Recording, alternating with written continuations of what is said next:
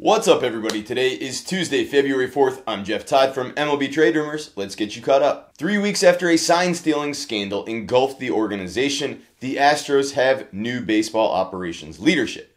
The club decided to hire James Click over from the Rays to replace outgoing GM Jeff Luhnow. Now, with Dusty Baker also taking over for AJ Hinch, there's all new leadership in Houston. The expectations will remain exceedingly high for this club. Unlike Baker, who only got a one year commitment, Click is on with a multi year deal. Now, he's going to face some challenges. The Houston organization was just docked for draft picks, and it's seen a couple of major free agents, especially Gerrit Cole head out the door without any major replacements coming in. That being said, this roster is still loaded with talent, and there are plenty of resources for Click to work with, certainly more than he had as part of the Tampa Bay front office. Let's not overlook the fact that this is a big ding for the Rays just before the start of camp.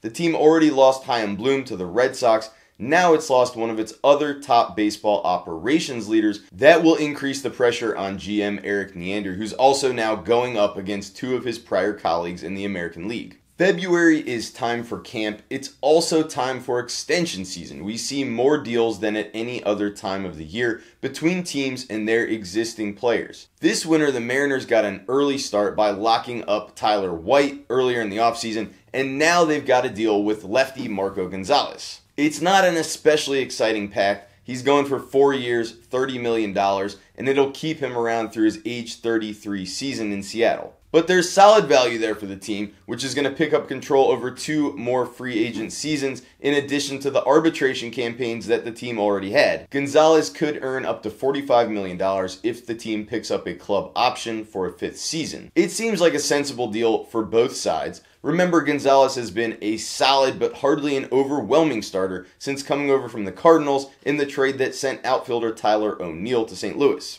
The M's also picked up a potentially interesting young outfielder on the waiver wire, nabbing Jose Siri from the Reds.